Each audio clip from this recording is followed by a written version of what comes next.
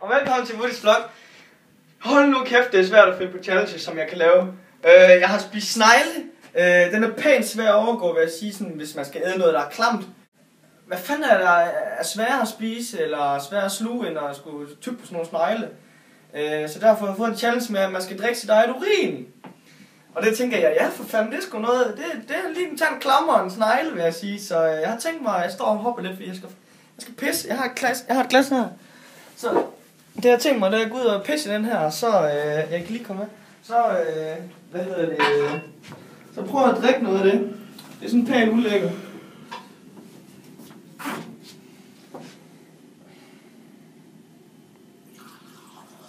Det er helt limefarvet. Hvad nu? Hvad nu? Og døren er åben.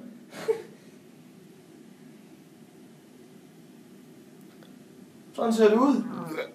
Øh, prøv lige at tage det her. Jeg skal lige... Øh... Fuck dig! Ja, så... Øh, gør jeg her? Men jeg skal lige ryste den for helvede. Ja, men jeg skal fandme ikke holde det glas der. Ja, men... 1, 2, 3, 3 ryst. Ellers er det at lege med den. Jeg stiller vi lige der.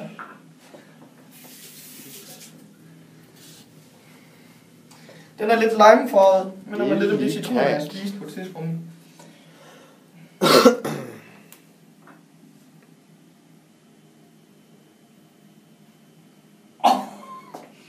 For satan, det er ulækkert, det her, mand. Skal den bundes, eller hvad? Nå ja, jeg gør det her, fordi at... Øh, nej, den skal ikke bundes, den her. Jeg gør det her, fordi at øh, jeg har fået øh, 20.000 views.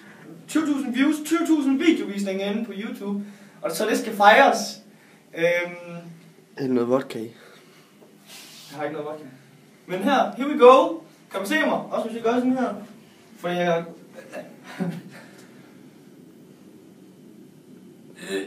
Nå, here we go. Det skal bundes. Nej, det skal jeg sgu ikke. Den det? Skal den det? Skal den det? Åh, kæft, mand. 3, 2, 1.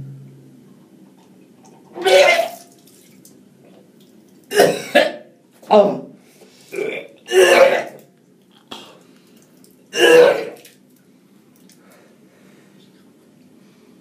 Hold kæft, det smager dårligt det her alligevel.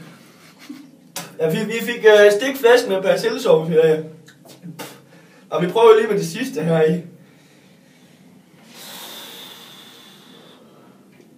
Hold kæft, det smager ringe. Det vil jeg ikke lige frem uh, sige, at folk skal prøve derhjemme, det her, vil jeg sige.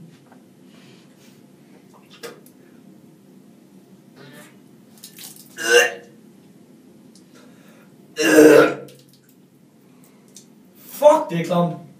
Det kan man ikke drikke. Ja, jeg kan i hvert fald ikke. Skyld din mund med sæbe. Ja. Men i hvert fald, øh, det var Woody's vlog for dag. Håber, I kunne lide min video. Det var med det helvede, det her, vil jeg sige.